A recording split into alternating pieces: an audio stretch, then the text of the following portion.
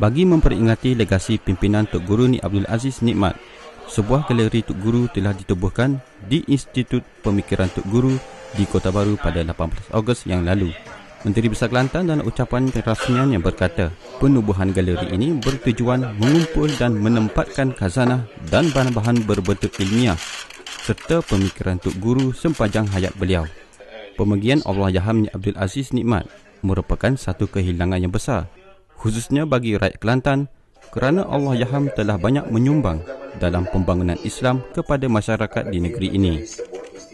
Antara bahan yang dikumpulkan termasuklah pakaian, keset, kitab dan gambar-gambar. Galeri ini akan dibuka kepada umum tidak lama lagi.